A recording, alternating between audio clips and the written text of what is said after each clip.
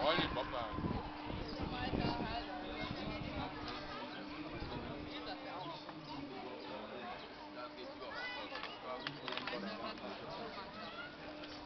Also sogar Pizza oder eigentlich.